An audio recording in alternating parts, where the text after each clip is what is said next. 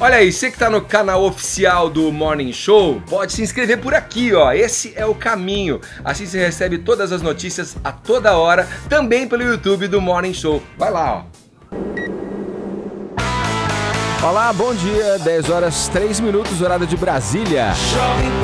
Estamos aqui, hein, para mais uma jornada nessa quarta-feira. Morning Show vai até às 11h30 da manhã e te convido a vir com a gente. Eu, Paulinha Carvalho, né, tá aqui comigo, ó.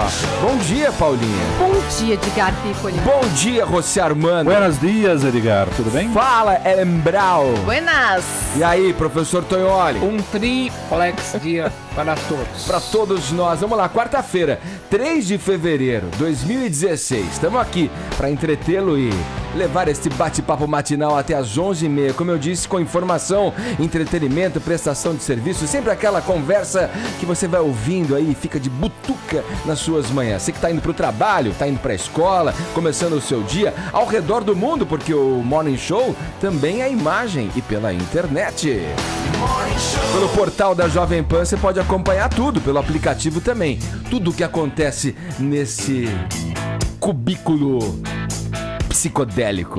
Vocês já viram, aliás, eu pergunto aos ouvintes, é, o estúdio da Jovem Pan? Pode acessar aí o site da Jovem Pan que você vê tudo coloridão assim, ó. É, é jpfm.com.br barra Morning Show ao vivo do seu computador ou no seu smartphone. É só baixar o aplicativo da Pan, um vermelhinho. Que hora que você abrir, queridos? Você verá esse um estúdio maravilhoso, essas pessoas. Um arco-íris se abre na sua vida. Olha, vamos falar da bravata do dia, né? Depois da adoção de Adele, ou Adele, como trilha sonora para a campanha do tinturado Donald Trump, vale tudo para convencer o eleitor e angariar votos quando o assunto é eleição. Isso é bem natural, aí desde a eleição para o síndico do prédio, né? Até a eleição para a presidência do país mais vitaminado do mundo, os Estados Unidos. Embora eu pense aí que, na verdade, como vocês vão ver daqui a pouquinho, no comentário do Tonholi, é, o candidato João Kazic, né, teria é, sucesso na sua estratégia se fosse candidato a talvez o sindicato dos veteranos e dinossauros do rock clássico. Daqui a pouquinho você vai entender. E tem também no programa de hoje mais assuntos como esse daqui, ó. Não é, Paulinha? É. é mais uma a homenagear o camaleão, né? Ela também é camaleoa, né? Lady Gaga? Não é? Lady Gaga? Ela é uma camaleoa, né? Ah, é, né? Até de carne ela já se vestiu, ninguém pode dizer que ela não sabe ousar.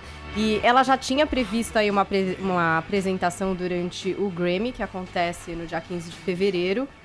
E aí, é claro que com a morte do Bowie, os organizadores pensaram, bom, vai ter que rolar algo de especial, teremos que mudar o rumo uhum. dessas performances. Quem será que vai homenagear David Bowie? Aí aparece ela. Aí pensaram, por que não Lady Gaga? Hã?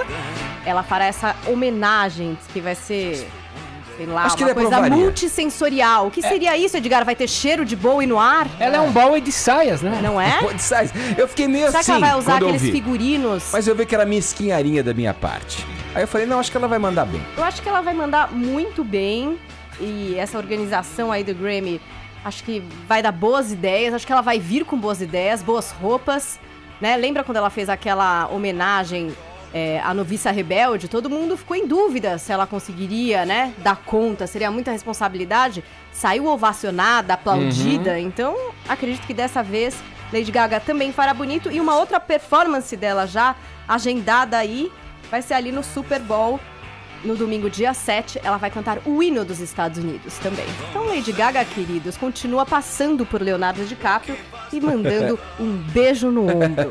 É isso. Ô, Ellen, vamos lá, falar sério aí. É, você traz informações a respeito desse caso de Zika vírus aí, transmitido através da relação sexual. Isso aconteceu nos Estados Unidos? Exatamente. É, as autoridades de saúde dos Estados Unidos confirmam que um caso em Dallas, no Texas, é, foi de transmissão de Zika vírus através de uma relação sexual. A pessoa pessoa, é, um cidadão norte-americano, teria é, contraído o Zika vírus depois de ter uma relação sexual com uma outra pessoa que viajou viajou à Venezuela. A Venezuela é um dos países em que o mosquito aí circula.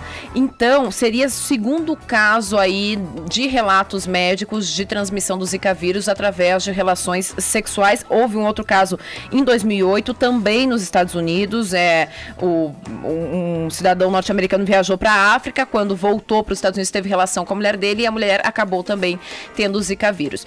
É, aqui no Brasil, quando a gente começou a, a ouvir falar mais da, da epidemia de Zika vírus, alguns infectologistas alertavam para uma possibilidade dessa transmissão sexual e também através de doação de sangue, né? Tanto que os protocolos agora nas doações de sangue estão um pouco mais rígidos dentro das triagens para tentar evitar isso. O que a gente sabe muito pouco sobre isso e esses dois alertas agora deixam a população obviamente ainda mais temerosa. Mais do que isso, esse segundo alerta é, deixou. A gente já falava ontem aqui que o Brasil deve ter em até dois meses uma ação encaminhada ao STF pedindo que seja estendida a possibilidade de interrupção da gravidez para os casos de microcefalia. Agora, hoje, o jornal The Guardian, que é o jornal britânico, tem uma seu, das suas colunistas levantando justamente essa questão agora também na União Europeia, ou seja, de que o fato de a epidemia de Zika vírus poder estar associada com a microcefalia, deve recender a legalização do debate, ah, o debate sobre a legalização do aborto nestes casos. Vale lembrar que é, nessa coluna aí, é, escrita hoje no, no The Guardian, é, a colunista diz que a Colômbia e, a, e também El Salvador disseram para as mulheres: olha, se você está pretendendo engravidar agora, evite, não engravide nos próximos tempos. Colômbia diz para não engravidar nos próximos seis ou oito meses, El Salvador nos próximos dois anos. Mas nenhum destes países é, tem leis que permitem, por exemplo, o aborto. Como ficam essas mulheres? Se o Estado não tem capacidade de ajudar essas mulheres numa prevenção, como que fica esse Estado que não ampara também as mulheres que se encontram numa situação dessas, que é, gente, desesperadora, né? É uma situação desesperadora. Fato é que o aborto, ele existe, né? Ele existe. Se você tem dinheiro hoje no Brasil, você faz um aborto e não vai acontecer nada. Agora, é, a grande, o grande debate é: você vai dar um acesso uh, na saúde pública? Esse seria o grande debate nos dias de hoje e o que está se levantando aqui no Brasil, mas também em outros países agora com essa epidemia de Zika e de microcefalia. E o que rolou também, Edgar, é que o Mark Zuckerberg ele fez um post, ele que é a pessoa que tem mais amigos né, no Facebook, sabia? Edgar. É, ele fez Ele é dono do campinho, é, faz sentido que ele tem maior olha, visibilidade olha, nas timelines. Eu tenho certeza que não precisa fazer, não precisa impulsionar o post dele. Não precisa, não né? Já nada. vai no primeiro, é você vai abrir, você vai ver esse post hoje do Mark Zuckerberg. Ele postou um vídeo em português, inclusive, que é a da Brasco divulga é uma instituição aqui do Brasil, é, falando sobre o, o Zika vírus uhum. e as formas de prevenção, enfim. E é uma preocupação mesmo grande em toda a América, né? O, o presidente, inclusive, pedindo aceleração no desenvolvimento um da, das vacinas, né? Tem um problema aí gravíssimo, que é o seguinte: vamos pegar a Inglaterra no final do século XIX, pessoas se matando para trabalhar 20 horas por dia, sem nenhuma condição de saneamento básico. E ali a, a, as manchetes do Times Londrina no século XIX eram satanizando o bacilo de Koch. O bacilo traz a tuberculose. Não se discutiam a, a, a, falta de infraestrutura que levava à tuberculose. Hum. O que a gente corre risco hoje? Satanizar o mosquito e não discutir a falta de condições de saneamento que levam à existência do mosquito. Sim. Da mesma forma que eventualmente você sataniza bandido e não discute desemprego. Então o problema que a gente pode viver é satanizar o mosquito e esquecer a incúria dos governos, como a gente denunciou aqui no Morning Show e foi copiado por um jornal ontem a questão das ciclovias estarem com os postinhos abertos para entrar mosquito e, e colocar ovinhos ali. Então o problema é satanizar o mosquito como forma de tirar a culpa dos governos que não cuidam do saneamento básico. Isso foi feito na Inglaterra no século XIX. É, é, como se desconsiderasse a possibilidade de, de, de uma epidemia, enfim, e de, e de, uma precaução mesmo de saneamento. Como os nazistas fizeram, desse, satanizavam desse... os judeus e falavam: esses caras são os culpados de fazer aquela barbaridade. E tirava a culpa do, de todo um contexto social. Está acontecendo a mesma coisa hoje. Vão satanizar o mosquito e o governo vai se eximir de uhum. qualquer coisa com a satanização do bichinho. Já começou. Vambora. Zé Armando, Fala. quer dizer que a Globo tá tá apostando todas as fichas aí com essa novela que está em cartaz. A regra do jogo, reta final, né? A novela vai até março, mais ou menos, quando vem Velho Chico. A novela subiu a audiência, o público se envolveu, tá batendo ali na casa dos 35 pontos há um bom tempo. Desde o começo de Babilônia, a, a Globo não via uma audiência tão elevada no horário das 9 horas. E aí o que é que eles vão fazer? Os artistas da regra do jogo começam a participar de outros programas, entram chamadas em outros programas para potencializar a audiência e jogar não só para Velho Chico, mas o que, que tem acontecido ali? O que, que a Globo conseguiu? A regra do jogo melhorou, joga melhor para o Big Brother. O Big Brother conseguiu também conquistar o público, chegou a bater em 32 pontos esses dias. Há muito tempo não dava isso. Com barraco, com aquelas coisas, mas subiu audiência. Então isso é estratégia. Não estou dizendo que o Big Brother é o melhor programa da televisão brasileira porque deu 32 pontos. Muito pelo contrário, porque mesmo porque na hora que você tem uma polêmica fake, daqui a pouco o telespectador descobre e sai. Aquilo ali foi muito armado, aquele negócio, ah, você é pedófilo, não é pedófilo, o outro chora vai chamar a produção, você vê que tudo aquilo ali tem a polêmica pela polêmica, e aí o, o telespectador uma hora é, rejeita. Mas funcionou no primeiro momento ali. Né? Então a Globo quer usar a regra do jogo para potencializar o Big Brother e lá no início da grade noturna, é, com Eta Mundo Bom, que também está em alta, jogar isso para todas as novelas. A Globo começou já a empurrar a grade dela alguns minutos mais tarde. Por quê? Porque lá em março vai ter a estreia de Os Dez Mandamentos. A Globo começa a empurrar já para tirar um pouquinho o Jornal Nacional do, do confronto direto tirar principalmente Velho Chico da possibilidade de cruzar com os Dez Mandamentos. Falado, Zé. Vamos em frente agora com a Bravata. A Bravata, a gente falou da preocupação agora do Obama com o Zika vírus por lá, mas tem candidato aí arriscando tudo, né, Tonholi? Não, Ed, ó, assim, primeiro foi o Trump ah, é? entesourando a obra da Adele. Agora. E ela já enquadrou, Já né? Falou, enquadrou. não quero que use minhas músicas. Agora não. nós temos uma nova, que é o seguinte: o governador de Ohio, um republicano, John Kasich, ele conquistou ontem apenas no causus, que são aquelas prévias, aí nem 2% das intenções de voto, mas já prometeu. Se eu for eleito presidente, eu vou reunir o Pink Floyd. Aí tem uma questão. E vai tocar o, o disco do Mágico de Oz de trás pra frente. O Kasich é pró-Israel. O Roger Waters é anti-Israel, então ele já falou pra CNN hoje: Não, mas eu vou ter que reunir com o David Gilmour. porque-" Agora, o que que tá acontecendo? Acho que tem uma tendência, e eu preciso lembrar uma coisa engraçada: os caras estão roubando artista pop pra potencializar suas campanhas. E não era assim, então eu quero te contar um episódio. Ah, eu tive a honra de ter como meu orientador de mestrado o Dr. Timothy Leary, para quem o John Lennon compôs Come Together. E essa história é o contrário do que acontece hoje. Ah, o Leary era candidato dos hippies ao governo da Califórnia em 67 contra o Ronald Reagan. Aí o John Lennon o tema da, da campanha do Leary era Come Together, Join the Party. Aí o John Lennon falou: Eu apoio o senhor, eu vou fazer uma música pro senhor. E compôs Come Together pro Timothy Leary. Aí o Leary viu a música e falou: Não gostei, não vou usar a minha campanha. Aí os Beatles gravaram Come Together. E o Leary snowball o John Lennon. Hoje tá acontecendo o contrário. São os artistas que estão roubando. Então até isso estão sendo roubados, aliás. Então até isso se modificou. Agora, você vê, o, o eleitor mais, um pouquinho mais atento vai sacar que isso é impossível, é uma bravata tremenda, até porque Impossível. os dois já disseram que não voltam por questões é, legais, inclusive. O, o David Gilmour, que seguiu com o nome Pink Floyd, já disse depois do lançamento do Endless River do ano de 2014, acabou a banda, botou a pá de cal, jogou em cima. O Richard Wright morreu, tá lá. Então, quer dizer, o Sid Barrett também. Quer dizer, não há a menor possibilidade disso acontecer. Cada promessa, viu? É mentira, então. Então não vai rolar. Não vai rolar nada. Tá vendo? Tá, não vai rolar. Prometeu, não cumpriu. Vamos lá, Paulinha. Eu Aproveitando este, esta Ensejo. Essa promessa. ensejo, essa promessa, Promessas de essa campanha, Edgar. bravata de Queremos- Jankovic. Queremos saber de você, querido ouvinte. O que, que você estaria prometendo, hein? Estaria prometendo, Eita. assim. Uma promessa improvável, né? Use a criatividade. Prometa coisas desse nível, Ah, assim. é pra cumprir tipo, ou não cumprir?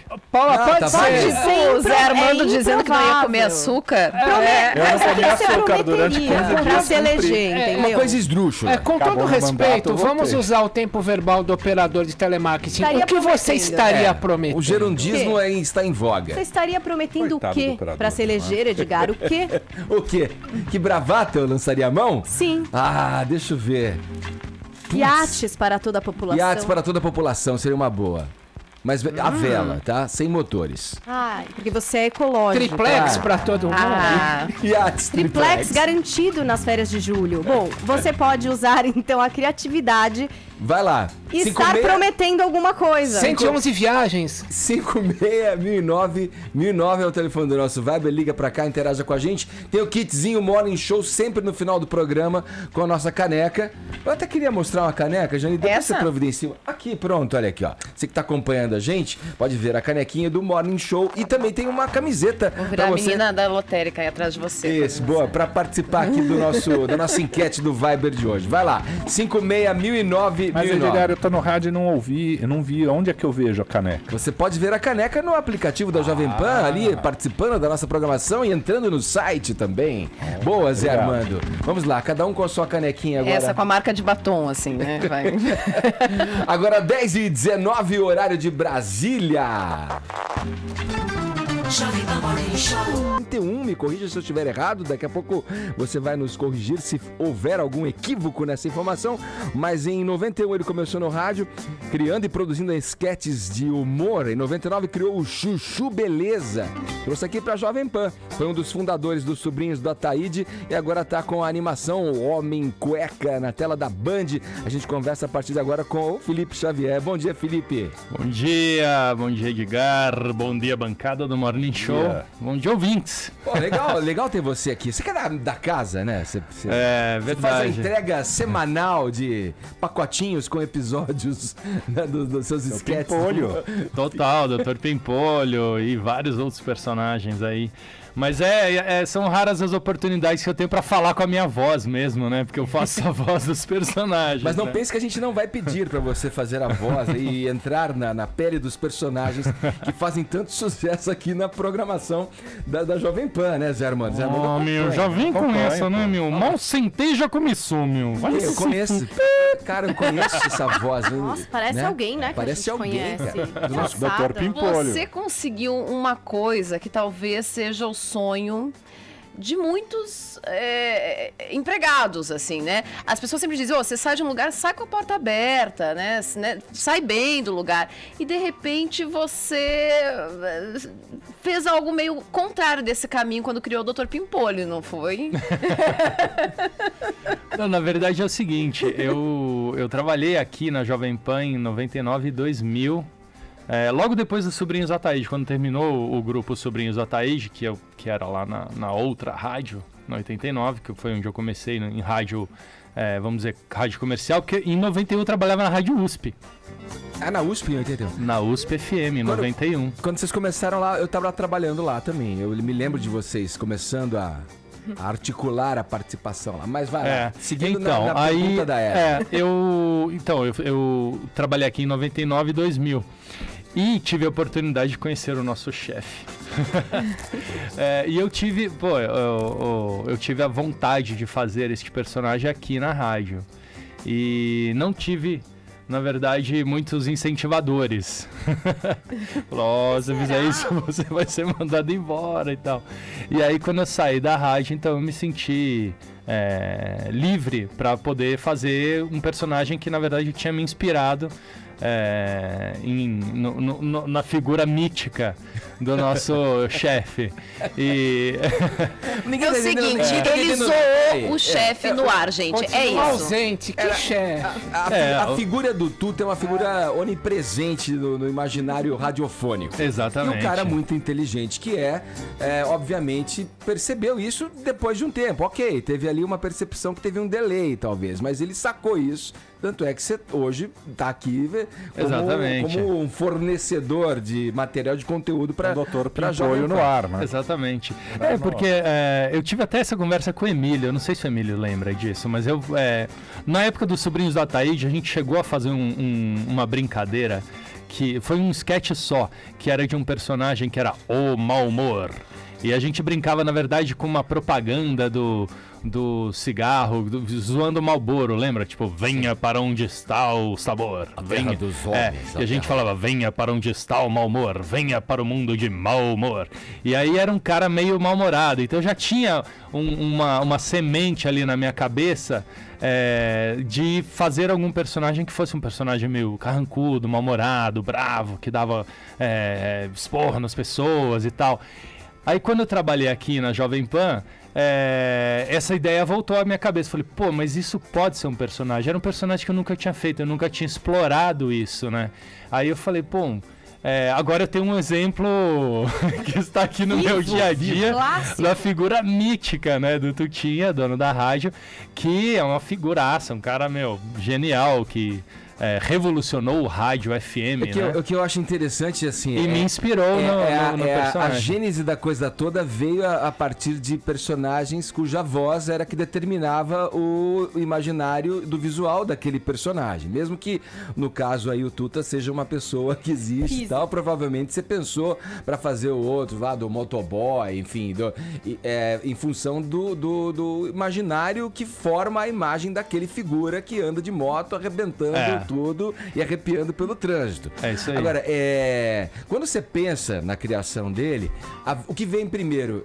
Vem a voz ou você pensa na- na- na- nesse Na figura. na figura e depois traduz aquilo para um som? É... Deixa eu te pensar. eu nunca tinha pensado Teu nisso. processo criativo, não é? É, eu acho que é uma coisa meio misturada, assim, porque a voz, ela já vem na minha cabeça com uma imagem. Ela sempre vem com uma imagem. Tanto que quem, quem me vê gravar no rádio diz que eu faço todos os trejeitos e eu a- a- fico até com uma postura diferente. é, física mesmo. Então eles falam, pô, você já tem um personagem pronto fisicamente, né? ele não é só a voz. Aquilo te auxilia. É, porque assim, se você, se você pensar que o seu corpo ele é uma, uma caixa de ressonância, Uhum. se você põe o pescoço mais pra frente, você fala assim. Se você põe o pescoço mais pra trás, você fala assim. Se você faz assim, se você ri falando, ou se você faz uma voz, sabe? O, o rosto, tudo que você faz com o seu corpo, isso reflete no, no som da sua voz.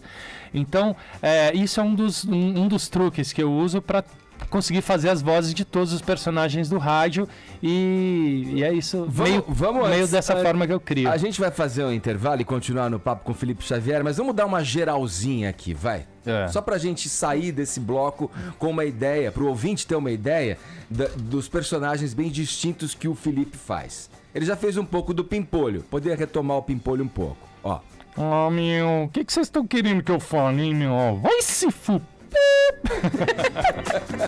esse Tem a é o Cileide. A Cileide. A Cileide.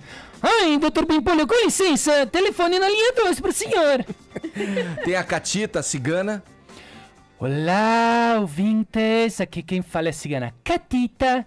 E hoje nós estamos no Morning Show, um programa que é simplesmente lindo, com pessoas maravilhosas que você pode pegar o telefone a hora e ligar pra cá e fazer a sua pergunta.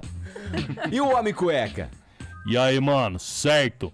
Aí, ó, tô todo dia, 10 e 15 da noite na Bandeirantes aí, TV aberta, Brasil todo, certo? Depois do show da fé, mano, é nóis, ó, dois minutos entre o show da fé e o Simpsons, Pô, certo? show da fé. Mas o cara vai pegar com a audiência, da O show da fé, eu sinto, quer dizer. entre, eu tipo, tô entre os dois, né?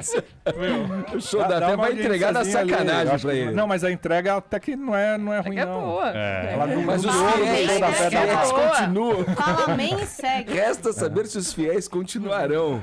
É, que mais? Paulinha quer ouvir um aqui, Paulinha. Não, a galera pergunta A galera no Twitter Peterson aqui. Foca.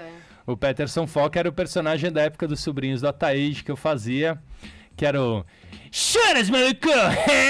É, eu tô agora aqui no rádio de volta, mano! É. Uhul! qualquer animal.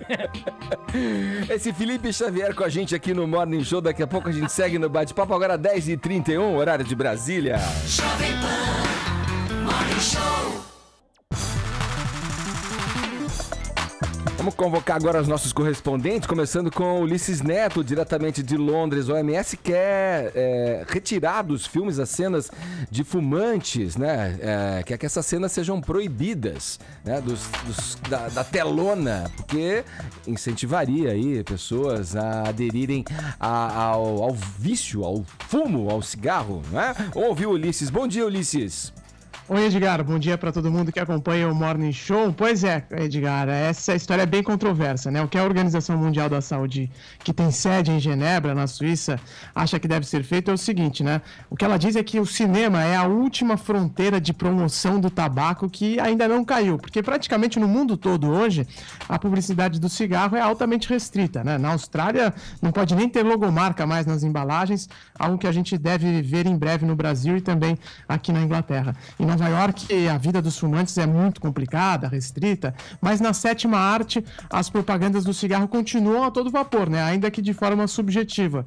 O que a OMS diz é que o número de personagens fumantes no cinema, principalmente nos blockbusters, né? nesses filmes que, que vendem muito, que fazem muito sucesso, não corresponde mais com a vida real. O cigarro ele aparece em muitos takes, em muitas cenas, até nos filmes de gêneros mais fora da realidade. E aí o caso da franquia Transformers foi inclusive citado pela OMS, onde o robô fumante faz parte da trama.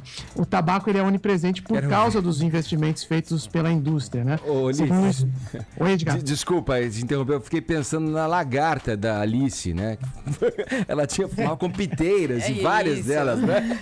É, então, e segundo a OMS, 44%, né, quase a metade dos filmes de Hollywood produzidos em 2014 mostraram cenas com cigarro. Então, e desse total, 36% eram liberados para adolescentes e crianças. A OMS quer então lançar, lançou na verdade um movimento e quer a adesão da indústria para que os filmes em que o cigarro apareça sejam proibidos para o público com menos de 18 anos. Então, ah, quando o filme for ao cinema, a recomendação da- das, das entidades de cada país, que, que, que cada país tem a sua determinação, claro, que essas entidades ah, digam que os filmes em que há cenas de cigarro, em que existem as cenas de cigarro, eh, eles só possam ser eh, assistidos por ah, pessoas que têm mais de 18 anos e assim combater o cigarro, Edgar. Ô, Ulisses, é é- engraçado que é, eu tava pensando aqui enquanto você falava, eh, Ellen, é, da, da- que a, a indústria do tabaco alimentou muito Hollywood durante muito tempo, pondo dinheiro ali.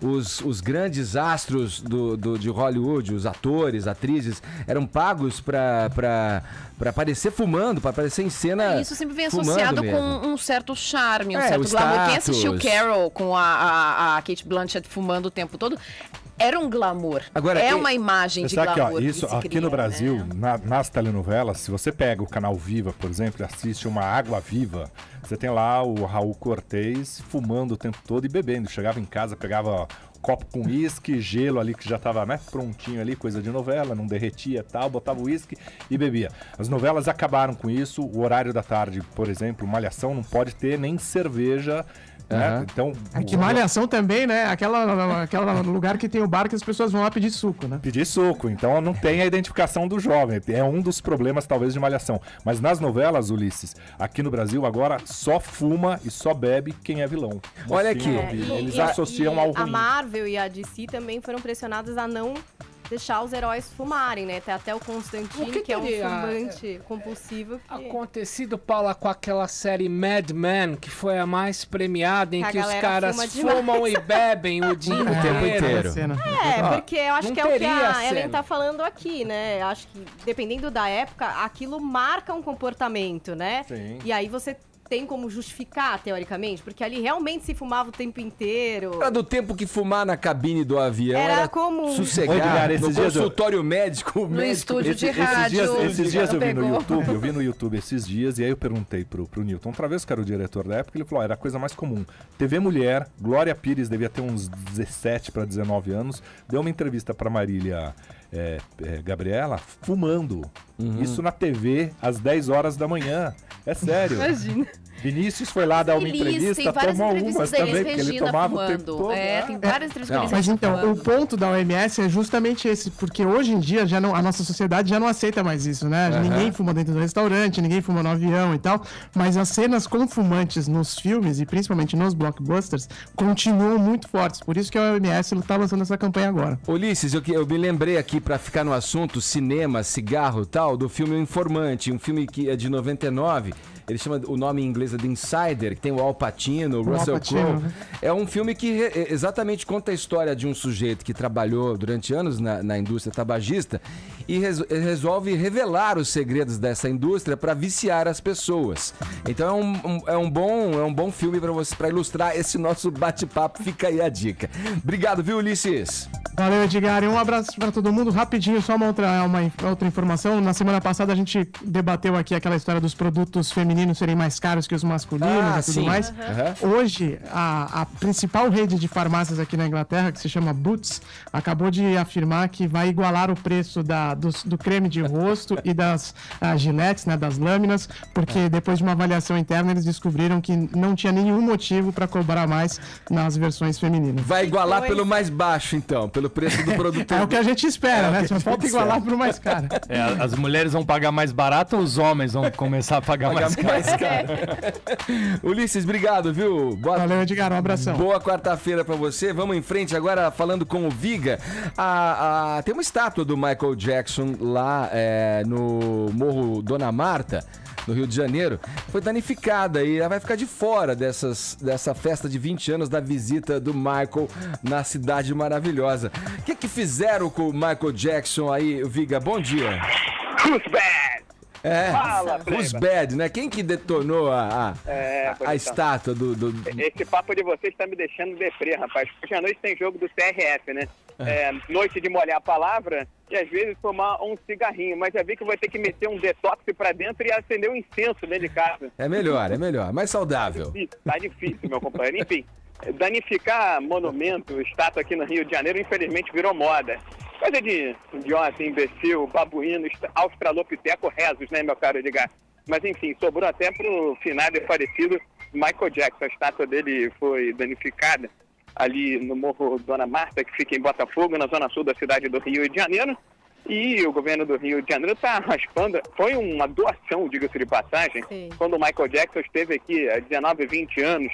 Na semana que vem se comemoraria, ou vai se comemorar, sem a estátua do Michael Jackson, é, 20 anos da passagem do Michael Jackson pelo Dona Marta, que foi um fuzuê, foi um bafafá, um auê é, danado. E a estátua acabou sendo danificada às vésperas do vigésimo aniversário. Ô, Viga. Oi. Roubaram o óculos do Michael Jackson, né? Tiraram. É, não, a- aliás, esse. Mas essa estátua é esquisita, gente. Não, mas deixa lá, vai. Ela é estranha, Deixa, né? ela é meio Deixa ela. assustadora. Acho Agora, que esse lá- um favor, né? Esse vândalo de estátuas, olha lá, ele tem fixação por óculos, porque os do Drummond também, ele- eles roubam É. direto, pô. Mas sabe qual é o, qual é o bode, meu caro Edgar? É Ah. que é, um cartunista famoso aqui do Rio de Janeiro está tirando do próprio bolso 24, 25 mil reais para bancar o reparo. Só que precisa de mais, muito mais. Fala-se que o reparo custaria 50 mil reais. Nossa, o governo do Rio de caro. Janeiro... É Louis Vuitton esse óculos aí, É, meu? pois é. Cara, É pra homem ou é pra mulher, né? mas não pode ficar Não sei, sem, de ver. repente? Não sei. Como o Michael Jackson, assim, era, era híbrido, vamos dizer assim, não sei qual é o preço. Mas, meus camaradas, o que eu vou dizer para vocês é o seguinte: o governo do Rio de Janeiro não tem a sua quarta parte para colaborar. Então, tá passando o chapéu aí para ver se empresários se mobilizam, como fizeram com a estátua do Drummond, que você falou agora há pouco, meu caro Edgar, que já sofreu nove atos de Sim. vandalismo desde que ela foi inaugurada. E, normalmente, o alvo principal é o óculos. O Michael Jackson não é só a questão é, é, estrutural, não é? É dano é, físico mesmo, na, na lataria do seu Michael, vamos dizer assim. E o fato é que falta dinheiro para o reparo, tem uma secretaria especializada só para reparar monumento, um contrato milionário que é gasto pela Prefeitura do Rio de Janeiro. Só que a estátua do Michael Jackson não é do município, é do Estado que está em crise financeira. E quanto ao Drummond, já arrumaram uma solução aqui no Rio de Janeiro. Depois de nove danos aos óculos, sugeriram ao Drummond. Ô, Drummond, vê se coloca uma lente de contato, por favor. Aquele abraço, ligado? Valeu, esse Rodrigo Viga. Só fazer uma gente aqui no observação Morning no que o Viga tá falando. É, uma- teve teve uma, uma reportagem que até foi premiada, o Prêmio Nacional Detran, é, sobre quanto se gasta para repor placas de rua, aqueles cones de rodovia. Então você, animalzinho, que vai lá e te faz esse tipo de coisa, detona a placa, escultura, lembra que o dinheiro vai sair do seu bolso para reparar isso. É um baita gasto que sai do seu bolso para reparar tipo de coisa. Lixeira, é, monumentos, tudo isso sai do seu bolso para reparar depois, né? Ia falar, professor? Não, tem uma pergunta pro Felipe. Vamos, vamos, vamos. Pergunta aqui relacionada ao, ao- ao assunto. Não, não, Peraí, é sobre voz. Segura, segura, segura. sobre voz. Daqui a pouco, primeiro que a gente tem que chamar a nossa correspondente Júlia. Júlia Carvalho é, é de Recife. Atrás do trio. E traz sempre informações sobre esta festa de Momo. Já que- comprei minha passagem. Já. Vamos todo, podia fazer o programa de lá, é hein? Momo, né, gente? É, não é Momo ah, ela acho que não. Quem que será não que sei. é? Quem será lá? É, o, é a majestade do Maracatu, sei lá, o rei, enfim. O cortejo real do Maracatu. bom a dia, bom dia, Júlia. Oi, gente, bom dia, tudo bom? Tudo Estão ótimo. querendo me cortar porque eu estou monotemática, é isso. Não, mas Nosso é amigo não curte carnaval de jeito nenhum. Eu curto, eu É, gosto, já sim, comprei é, minha o passagem. tá fazendo Júlia. esse O LOL. Tonholi que gosta de Foi o carnaval. Ioli, foi o Tom Não, Ioli. é, é o problema é comigo, eu sou já o Pedro de. Lara do carnaval. Tom Ioli, depois a gente conversa, calma, calma. Olha, gente, deixa eu só falar uma coisa, começa hoje a montagem do Galo da Madrugada. Esse ano rola o 39º desfile desse bloco, que ainda é o maior do mundo e que vai homenagear Chico Sainz, que faria 50 anos em 2016. Né? A expectativa é receber mais de 2 milhões de foliões. Serão 30 trios elétricos, 6 quilômetros de percurso, quase 10 horas de festa. Triste é que por falta de, sei lá, comunicação e rapidez, a Nação Zumbi não vai desfilar no Galo da Madrugada. E quem tem aí a missão de representar o Mangue Beat é outra banda ícone do movimento, que é Fred o Mundo Livre 04, S.A. Exato. Pois é, inclusive o Fred 04, Edgar, estava falando, falou há uns meses que já ia começar a preparação, malhação e tudo mais, porque, olha, ficar horas e horas em cima de um trio elétrico, cantando e dançando sem parar, embaixo de um sol de rachar, não é fácil, né? Agora, Júlia, é, pô, Ah. é uma grande. Pô, não faz muito sentido a nação não participar, né? Ah, não, foi. e essa alegação de agenda, enfim. Uma Pois coisa que é. se pensa com muita antecedência, né? já que se sabe no Exatamente. carnaval. Vocês lembram que eu entrei aí e falei disso até no Afro Morning Show há um tempão, já faz alguns meses. Uhum. Que foi exatamente uma questão de agenda. O pessoal do Galo da Madrugada entrou em contato, eles disseram que, ah, que não viu, aí responderam e não respondeu. Ficou aquela falta de comunicação geral. E aí a nação acabou fechando um outro show no sul do país. Mas enfim, né? Como é que vai fazer? Eu sei que vai estar Mundo Livre S.A. lá em cima do trio. E que, Edgar, eu tô um pouco revoltadinha com isso também, tá? Mas pelo menos na segunda-feira de carnaval tem show da Nação Zumbi, linda e maravilhosa, no Marco Zero para todo mundo de graça. Pronto. E Olinda, que finalmente se pronunciou sobre o seu carnaval, se pronunciou ontem, tá? Tipo, a gente tá na semana pré, aos 47 do segundo tempo, enfim. É, o homenageado desse ano do Carnaval de Olinda será o maravilhoso Alceu Valença, o nosso carinhoso metralhadora do frevo, vocês lembram? Impressionante. A gente teve que cortar O esse verborrágico ao seu. Pois é, entre os desfiles e shows serão mais de 500 atrações na cidade histórica. Como meu queridíssimo Zé Armando fala muito aí de crise, da situação que o país está passando, só queria lembrar uma coisa: carnaval aqui em Pernambuco é de rua, é no chão, é para todos os gostos e para todos os bolsos, tá bom? Segundo o TripAdvisor, passar o carnaval aqui é muito mais barato. Em tempos de crise isso acaba pesando, né? É claro, vê só. É, meu. gente, Você tem- a comparação carnaval de Ô, Júlia. Não, não, não, não é merchan. É Ô, uma Júlia. informação técnica. Então vamos lá. Qual que é o. Qual que é, no restaurante você fala, ó, o ticket médio desse restaurante. Qual é o ticket Não, médio não, o do ticket, eu vou fazer o seguinte. Tem, ó, tem que incluir o, ticket- o repelente aí agora, hein? Não, exato. Não, o repelente já está Já- dentro aí do kit folia total. É. Essa pesquisa do TripAdvisor está levando em consideração o preço de hotel, passagem aérea, táxi, festa, alimentação e duas caipirinhas, hein?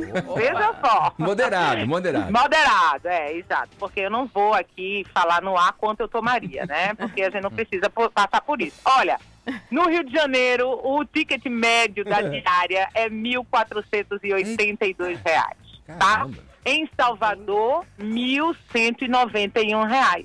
E Zé Armando comprou e vai aqui se encontrar comigo, porque aqui no Recife o ticket médio é 486 reais. Uma pechincha. Aí. Uma ó. pechincha, gente. Isso porque os grandes shows, as maiores atrações, tá tudo rolando ali no meio da rua mesmo pra todo mundo chegar aí. Então tá bom, acabei hoje meu momento merchan do dia. Continuo monotemática com De vocês, tá? Essa participação regionalista da Júlia. Vai rista, Ah, bairrista. Aliás, a gente tem muita audiência, muita gente participa daqui, gente do Recife. A gente adora é, é, essa terra e, e- e a gente sente muita inveja desse carnaval maravilhoso e democrático, como você falou. E como... Gente, venham pra cá no como- ano que vem. Por que a gente não faz um morning show no ano que vem? Olha, uma fevereiro? boa Vamos com sugestão. Vamos, vamos A combinar. gente fa- isso, a gente faz aqui no nosso super estúdio aqui da Jovem Pan Recife. Já Olha. tá tudo certo. Tá tudo Gostei. certo. Deixa, deixa eu consultar o Dr. Pimpolho aqui, ver se ele Mas autoriza pra gente. Obrigado, Julian. Beijão. Um beijo. E aí, Era, Dr. Dr. Você Pimpolho? vai liberar a gente pro carnaval em Recife? Você quer fazer um estúdio ao vivo no Carnaval em Recife, é, É pra isso? gente ficar ali, Dr. Pimpolho, mais próximo da nossa audiência. Mas nem ferrando, meu. Agora 9 para as 11, horário de Brasília. Jovem Pan Morning Show. Jovem É o Morning Show hoje recebendo aqui Felipe Xavier conversando sobre os personagens, sobre a estreia na, na TV Band do Homem Cueca. Daqui a pouco a gente fala mais. Vamos ouvir uns vibers, Paulinha? Vamos ouvir. Em cima da história né, do John Kasich, o, o pré-candidato pelo Partido Republicano nos Estados Unidos, ele que é, ele é governador do Ohio, né? Ohio ganhou 2% no, na- nas uh, prévias de ontem, mano, bastante 2%. Ele né? sabendo que não tem a menor chance, a verdade é contra o, o Tom, como é que é o Ted Cruz e o Tom e o Trump. Quem que é o outro? É o Ted Cruz, não é? Ted Cruz. Então, ele lançou esta bravata de que ele reuniria o Pink Floyd se fosse eleito. e aí a Paulinha, aproveitando esse ensejo, perguntou aos nossos ouvintes. É. O que, É? que vocês, queridos, estariam prometendo É? para se eleger? No gerúndio mesmo, no gerundismo, É, vai. tipo telemarketing. Vai. O que, que vocês estariam?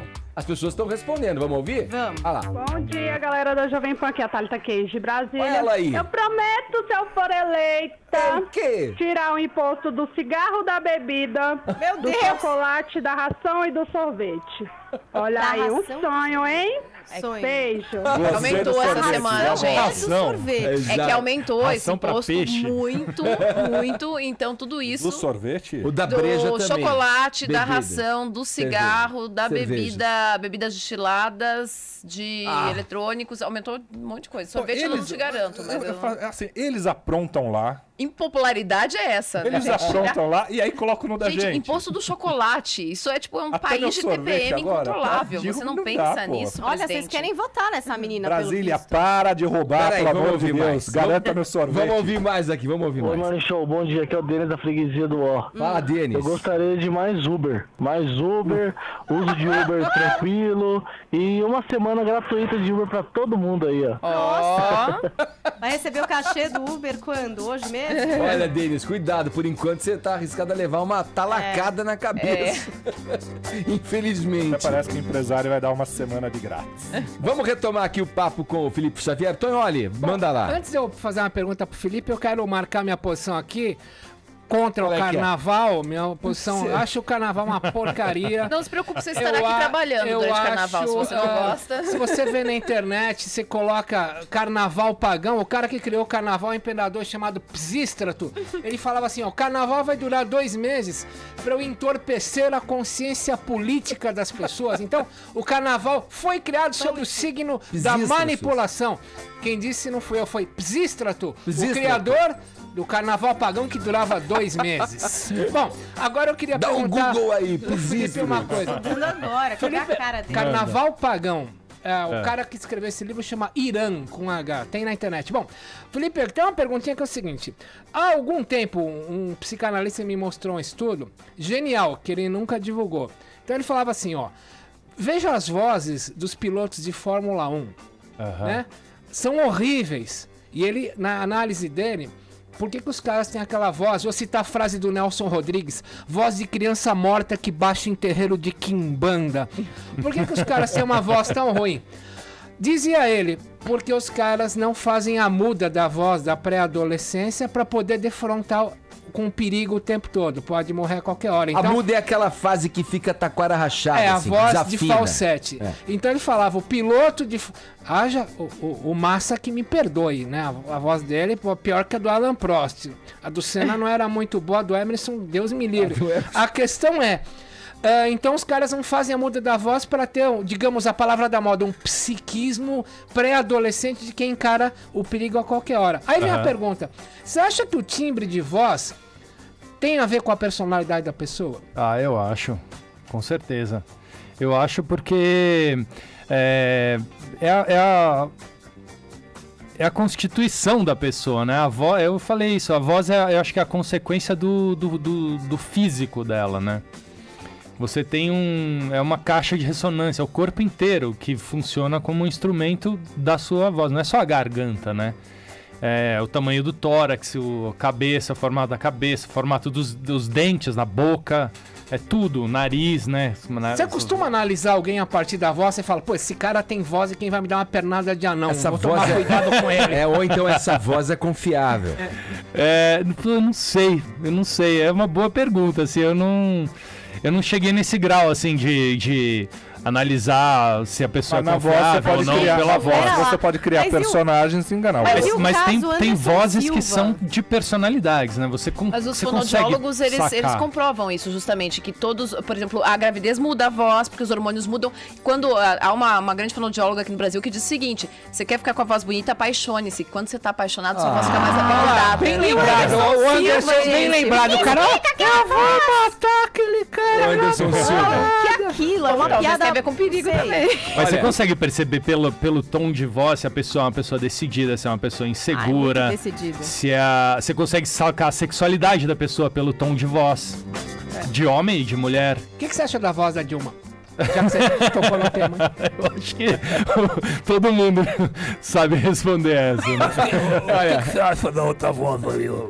Eu acho que é uma voz de, de quem. Gutural. É, de quem. Não, eu não confiaria numa pessoa com Nessa aquela época voz. de Lava Jato, língua presa Ah, pode ser pleonasmo. olha aqui. É. cuidado. se liga nessas vozes aqui, Felipe Xavier, ó. Extra. Manchetes maravilhosas. As notícias que vão mudar a sua vida. Agora eu quero ver se você acha confiável essa postura Ó. e essa entonação. Fernanda Lacerda, mendigata, posa de fantasminha camarada.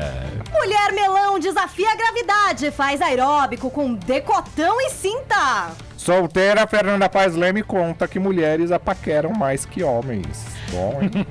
Luana Piovani volta a responder críticas nas redes sociais. Sou gata. Quero conquistar o mundo, diz Anitta em gravação interceptada pela Polícia Federal. E aí, Filipão, beleza? Opa, como é que tá você? Você aí de casa, tudo bem? Estamos aqui na Jovem Pan, esta rádio maravilhosa. Se liga aí, 11 horas, 1 minuto, horário de Brasília. Opa, pulou 11 e 2. Passos. Falando em gastar pouco, ó, isso tem tudo a ver. Ai, Edgar, aquele momento de sofrência pra você que voltou a trabalhar, né? Olha só essa oferta. Passagem aérea e volta a São Paulo, Miami, a partir de 1.112 reais ou apenas nove, nove vezes, não meses, né? Nove Imagina, vezes de nove meses Nove viajando. meses viajando, Simples vai ser assim. mara, mas na verdade são nove vezes de 124 reais. Isso mesmo, você vai pra Miami a partir de nove vezes de 124 reais, mas tem que correr. A oferta é por tempo limitado e é na togotravel.com.br. Você também pode ligar 0 prestadora 11 3124 0210 togotravel.com.br. Reserve você, por favor, essa viagem por mim, já que estou presa a esse programa, né? Pague lá, nove vezes de 124 São Paulo, Miami. Vamos seguir aqui no papo com o Felipe Xavier, tá com a gente. Ele que é, a- é o homem por trás dos Por personagens trás da cueca. da Tem cueca. o Felipe. O Homem Cueca é, na Bandeirantes, em horário agora nobre, é um desenho para adultos, diria assim. Um desenho Essa é- para adultos. Essa é a primeira frase, mas É. quando você faz um, um- um projeto, quando você cria, faz uma nova criação, você pensa já num público, ah, vou fazer para falar com a- as criancinhas. Seus personagens são sempre meio sacanas, né? Voltados São. a um público adulto mesmo. É. É, porque eu acho que o, o, o trabalho que eu faço no rádio, ele tem essa, essa característica, né? Ele tem que ser engraçado para o adulto, que se for morno, o adulto muda de rádio. E tem que ser, na medida certa, para o pai, o adulto, não ficar constrangido de ouvir na frente da criança e, ter que mudar de. Então no rádio eu faço, porque a Jovem Pan é um, é um, é um tiro de canhão, né? Pega todos os públicos, todas as audiências no Brasil inteiro. Eu tenho que fazer um humor que seja engraçado tanto para o pai quanto para o filho. Então, é, esse equilíbrio é um equilíbrio natural que a gente. Eu comecei a fazer isso em rádio em 91 e venho fazendo até hoje. Então me- é meio que. Eu não penso muito, eu faço aquilo que eu sei que vai andar nessa linha tênue entre o que dá pra falar no rádio e o que, não, o que já seria censurado. E quando eu fui pra televisão, eu simplesmente levei essa característica do meu trabalho pra TV sem muito ficar pensando assim. lá ah, lá é como é que surge? Surge primeiro, você tem lá o roteiro, vem primeiro a animação e depois você põe a voz. Como que é pôr essa voz? Você tem um tempo pro rádio que você talvez possa fazer algumas pausas que na- no vídeo você tem que encaixar ali, né? Tem que dar o sync do... Então, é, isso é, é- é muito um legal porque ali, né? a, a minha cabeça, ela sempre funcionou visualmente. Mesmo as histórias, se você ouve as histórias do rádio, né, as histórias do Homem Cueca, é, se você fechar o olho, eu tenho certeza que dá pra imaginar uh, a cena, porque eu tenho essa preocupação de fazer o sound design, né, de colocar os efeitos, colocar as trilhas e preencher todos os espaços com som para que você entre realmente no, no universo daquela historinha de dois minutos. Você viaja, você vai até a cena, você visualiza. Então, este visualizar, esse trabalho que é de áudio, é de rádio, mas é um trabalho visual dentro da minha cabeça, quando foi para TV foi muito tranquilo. Então, eu gravei as histórias, eu editei o áudio, eu entreguei o áudio pronto pro animador e o animador fez o animatic, que é o primeiro, o, o, stop- o- o storyboard, depois o animatic e depois a animação, tudo com base Em num áudio do já áudio. pronto. Já é, pronto. porque na minha cabeça já estava pronto o que seria. Achou a imagem no áudio. Simplesmente encaixou. Felipe, É. a gente falou ontem com a Dinê aqui na programação dessa liberdade que ele conquistou dentro da Globo, de poder falar mal da própria. brincar, é, ter humor com, com a própria emissora onde ele, onde ele trabalha. É, que tipo de conversa tem nesse sentido? Você já falou um pouco aqui de que você dosa já naturalmente isso, sabe? Porque tem que. O pai não pode se sentir constrangido de ouvir aquela piada, aquele sketch na frente do filho e tal, e tem que agradar o cara, tem que ter uma sagacidade também pra pegar o- Aham. o adulto também. Na Bandeirantes, co- e- existe uma avaliação do conteúdo que você gera pra falar, ainda mais porque você vem depois de um programa Religioso, é, né? religioso. O que também por Eu si venho só já é um- religiosamente de na minha segunda a opinião, sexta. contra senso, assim, porra. Enfim, mas vamos lá. Você sofre algum tipo de, não vou dizer censura, mas de avaliação prévia do que você vai colocar ali? Pra, tipo, É. discutir com você? Olha, vai por aqui, aqui tá Muito um... pouco. Muito pouco. Porque o, o, o Fernando Sugeno, que é o, o diretor lá da, da Bandeirantes, a quem eu me, me, me reporto, e que, para quem eu mandei os roteiros e tal, ele conhece o meu trabalho já há muitos anos, ele é ouvinte da, da, da Jovem Pan, e ouvinte... Não, eu Também dá lá. Também, Também da, de da lá, nossa mas da concorrência. Jovem Pan. Mas é, ele conhece a gente agora, as pessoas hein, ó. ouvem pra saber o que a concorrência É, tá. isso Não que mesmo. goste necessariamente. Eu acho que gosta, mas tudo Não, o, o Sugeno gosta, ele acompanha o trabalho, conhece muito e então ele já sabia que- aquilo que ele estava comprando. Não tinha surpresa, ele conhecia muito bem o personagem do rádio. Então é, eu estava num terreno bem, bem Confortável. con- confortável ali para poder fazer o- o- as historinhas do Homem Cueca. E eu não tive é, quase ah, censura, assim. Teve talvez uma ou duas histórias que eles falaram, putz, Felipe, esse daí tá meio meio pesado, vamos deixar pra lá. Mas teve uma história curiosa que Aí é você a- fala, puta, lá vão horas e horas de trabalho perdido no estúdio. É, mas como, como isso foi no primeiro ah, momento, no momento, ali, é, antes de você finalizar. na hora assim. do roteiro, não, não foi tão frustrante assim, porque, é, puxa, eu tenho quase 800 histórias do Homem Cueca, né? Então eu, eu pude é, pegar e, e escolher, assim, as, as, as histórias mais legais e mais bacanas dentro São de um quant- acervo quantos muito grande. episódios? Eu fiz 26 episódios de dois minutos, é, que estão passando né, todo dia às 10h15. quer dizer, de segunda a sexta-feira, das 10 e 15, a- às 10 e 15 da noite. É, entre o, o, o, o programa religioso do Show da Fé e os Simpsons. Eu tô abrindo para os Simpsons, olha que honra, né? Pô, Simpsons é o- talvez o desenho Clássico. mais é, famoso e mais duradouro, né, da Também não televisão é pra americana. criança, mas muita criança assiste. É, né? e eu tô, vendo, tô notando isso, né? Que o, o Homem Cueca, tanto o adulto acha engraçado quanto a criança. Isso é uma surpresa pra mim. é, Mas é uma surpresa muito positiva, porque nós estamos no ar durante as férias, né? Janeiro e fevereiro. É, agora que a molecada tá de férias, então eles podem dormir até mais tarde e eles estão assistindo o Homem Cueca na Band e estão adorando. Então eu tenho resposta de, de filhos, de amigos, que falam, putz, meu filho tá assistindo e morre de dar risada. Fala, Elin. É, nós temos aqui na nossa bancada um crítico fervoroso do politicamente correto, que é o Tonholi. E eu queria te perguntar se dá pra fazer humor, se isso é uma preocupação sua de fazer humor sem ser ah, necessariamente racista, misógino ou homofóbico hoje no Brasil. Isso é uma preocupação tua? Quer dizer, fazer um humor que você não precisa usar esse tipo de coisa no seu humor? Não, não é uma preocupação minha. É, eu, eu me sinto bem à vontade, assim, até, até aqui na Jovem Pan eu mando as historinhas prontas, assim, porque eu trabalho já há tanto tempo nesse universo que eu sei até onde dá pra ir.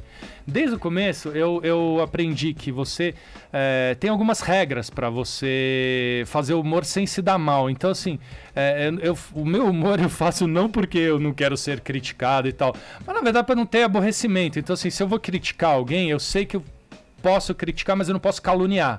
Eu posso zoar, mas eu não posso dizer uma, uma mentira da pessoa, porque daí eu vou ser processado.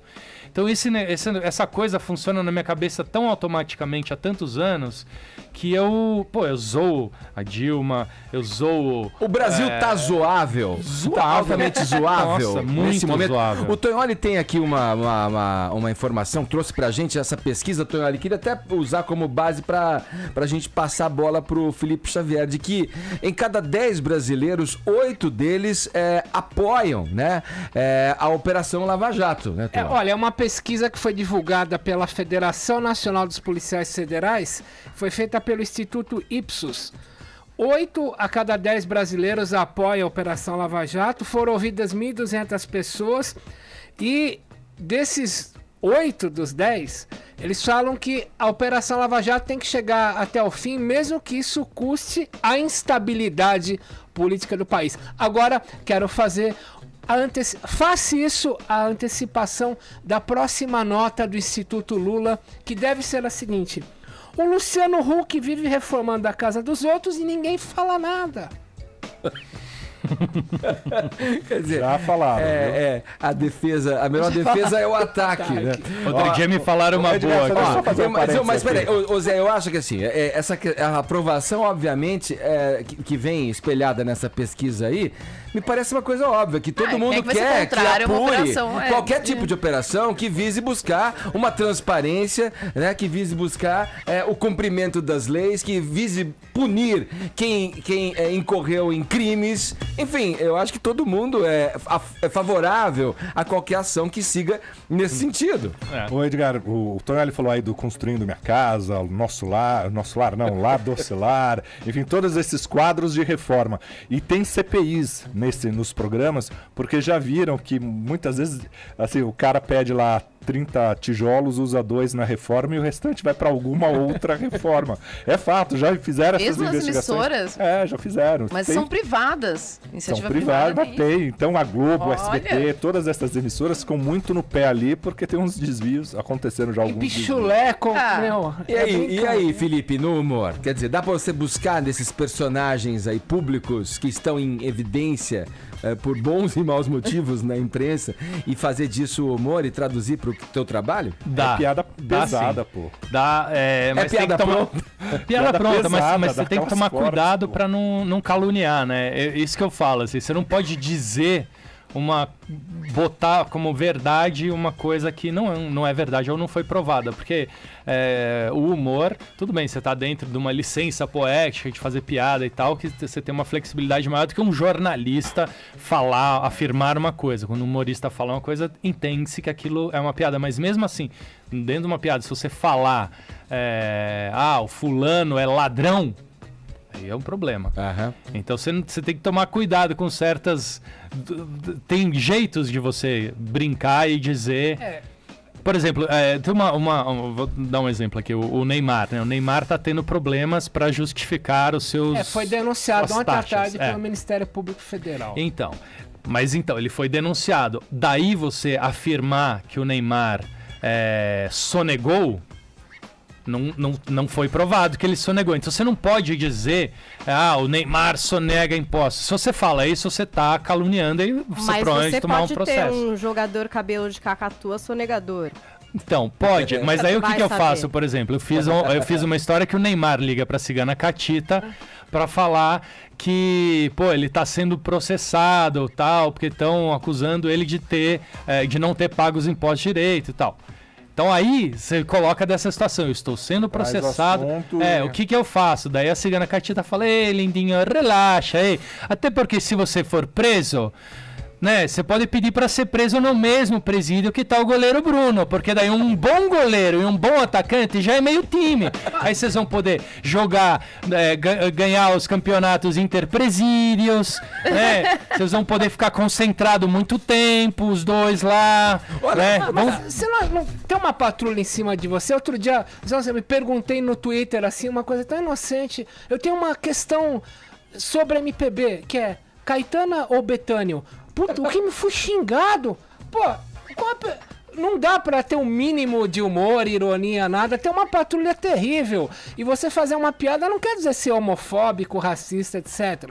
Eu acho que é você ser homofóbico ou racista, é você obstar o caminho de alguém para conseguir algo, porque a pessoa é de outra tribo. Agora, o que a gente tem lutado aqui é o seguinte: querem acabar até com o sarcasmo, que é da onde o humor tira a sua grande vertente. Você concorda ou não? Eu concordo. é, tem uma, uma, uma galera que, que fica pegando no pé, são os chatos, mas esses chatos não têm razão. Eles estão simplesmente enchendo o saco. Eu, outro dia, eu fui é, é, chamado a depor na delegacia. Opa! É. Porque uma, uma, uma dublagem de uma animação que eu fiz para MTV, chamada Família do Zaralho, alguém na sua casa assistindo entendeu que eh, tinha um contexto lá de, de, de uma piada que ele achou que era uma coisa ligada a uma piada racista ou coisa assim. Quer dizer, uma pessoa em casa assistiu, entendeu errado, mandou uma cartinha para o Ministério Público, o Ministério Público aí toma as providências, fala com a, a- a- passa para a delegacia de, de crimes raciais, aí a delegada tem que fazer uma um chamar para depor, né? Para você ir lá, é, não é depor, né? Você fazer um você se, você falar qual é o Bacana. e aí eles depois chama é é, quando você está envolvido no crime. é? isso, é, e aí você. esclarecimentos. E aí você tem que contratar um advogado, criminalista, gastar um grana. dinheiro, Uhum. pra pro- provar que você não fez nada de errado, que a pessoa estava enganada, que a pessoa. Então aí Isso contrata. tá em curso ainda? Não, não, já acabou, porque não tinha o menor sentido, mas tem que trazer, tem que contratar um perito, o perito tem que assistir o episódio, você tem que mandar o roteiro do episódio, o episódio, fazer tudo isso daí, a pessoa transcrever e aí ela analisar e falar, não, realmente não tem nada a ver, a pessoa está totalmente equivocada, não, Ô, não- Felipe, não o faz Monty sentido nenhum. Python iria pra cadeia no É. Brasil, não iria? Iria pra cadeia. E eu, e eu, eu tive é, essa, essa experiência desagradável porque uma pessoa, meu, entendeu errado e e precipitadamente mandou a cartinha pro, pro Ministério Público. Então isso pode acontecer, isso acontece. No Brasil tem acontecido com uma frequência maior, eu acho, é, porque houve um, um ano, dois anos, sei lá quantos anos atrás, três anos, é, um surto de ah, o politicamente incorreto está passando dos limites, né? Com é, comentários de, de humoristas que fizeram comentários infelizes na TV e coisas desse tipo. E aí gerou-se essa coisa: ah, temos o, o- o- esta ferramenta agora de. é, protestar e, e- e reclamar com o Ministério Público, o Ministério do Público dá uma uma enquadrada nessa, nessa gente. Mas aí, é, eu acho que cabe também você olhar o histórico da pessoa, né? Eu, pô, eu trabalho em rádio desde 1991. É, eu nunca tive, nem, nunca fui processado, nunca. Então, ao longo da minha história longa, eu, eu sou conhecido, né? As pessoas conhecem o meu trabalho. Sobrinhos do Ataíde, Chuchu Beleza, todos os personagens que eu fiz e tal não tem nenhuma característica de, pia- de, de piadas racistas, de piadas homofóbicas, nem de nada. Então, é, eu acho que vale a pena você, quando você tiver é, se sentir ofendido, antes de você pegar o telefone ou mandar um e-mail para o Ministério Público e sair atacando, você olhar quem é esse humorista, qual é, o que, que ele pensa, qual é o histórico dele, será que eu entendi direito essa piada? Deixa eu ouvir de novo para ver se o cara falou isso mesmo. E qual é o contexto que- em, em que, em que aquela piada foi dita, para antes de você tomar uma, uma medida dessa. Porque uma medida dessa, às vezes irresponsável, você pode fazer com que a pessoa que tá lá, que é um trabalhador, que eu sou um trabalhador, eu faço um- um humor, as pessoas acham que o humor é você chegar no rádio e falar um monte de bobagem da sua cabeça. Não, pô, eu fico em casa, no escritório, trabalhando, escrevendo aquilo que eu faço, eu gravo, edito, põe no ar. Então existe um trabalho, você vê se a pessoa é séria, quem é essa pessoa? Essa pessoa tá trabalhando e aí antes de você tomar essa medida irresponsável que vai custar dinheiro. Uma brincadeira dessa com a MTV custou 20 mil reais. Olha aí. Por exemplo, Imagina de advogados tendo e que fazer delação premiada. Olha, eu vou contar quem na verdade Cobra do quis cara que mandou a carta. Não, isso acontece, entendeu? Você, você se ferra, você vai ter que provar. Né, porque no, no Brasil é isso.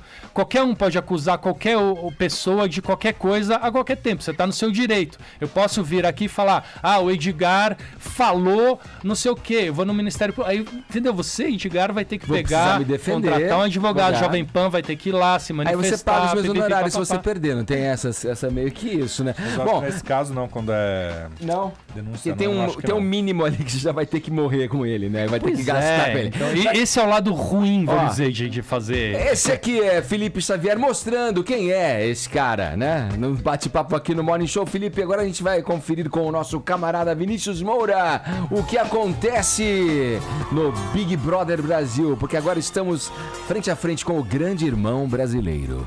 E aí, Vinícius? Tudo bem, Edgar? Beleza? Muita polêmica também no Big Brother, hein? Você que acompanha aquilo lá, né? O Zé falou que a polêmica é, gera um interesse num primeiro instante, depois vai o telespectador vai Polêmica percebendo. Verdadeira. Isso, vai percebendo e vai e não vai mais grudando, não vai mais pegando aquilo lá. O que que tá acontecendo lá? Ah, Ontem nós tivemos um verdadeiro paredaço, né? Entre o Laércio e a Ana Paula. Eles que monopolizaram aí todas as atenções da casa nessa semana. E fora da casa também, E né? fora da Nos- casa também. Vários debates nas redes sociais. Exatamente. Vamos entender a história. A Ana Paula pegou uma antipatia pelo Laércio, primeiramente por questões de higiene.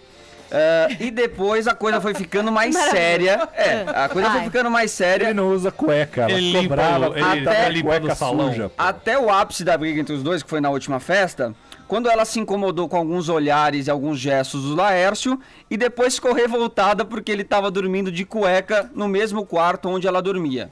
Teve gente que ficou do lado dela, teve gente que ficou contra ela, teve gente que falou que se fosse o Renan, né, que é o sarado lá, que se tivesse de cueca ela não ia se incomodar.